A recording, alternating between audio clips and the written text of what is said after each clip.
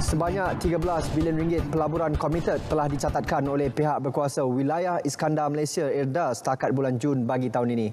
Menurut Perdana Menteri Datuk Seri Ismail Sabri Yaakob, 6 bilion ringgit daripadanya telah pun direalisasikan. Menerusi kenyataan, beliau berkata lebih 10 bilion ringgit bakal dijana oleh pelaburan asing di wilayah itu untuk pembangunan pusat data sekaligus memberikan lebih 6,000 peluang pekerjaan kepada keluarga Malaysia. Ini membuktikan pelabur asing semakin yakin untuk melabur di Malaysia.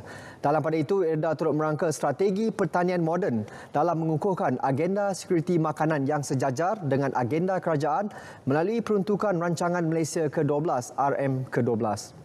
EDA juga sedang merangka draft Pelan Pembangunan Komprehensif Iskandar Malaysia 2022-2030. Ia bakal menjadikan wilayah itu sebagai salah satu tunjang utama menjana ekonomi negara berkonsepkan pembangunan mampan dan berdaya tahan.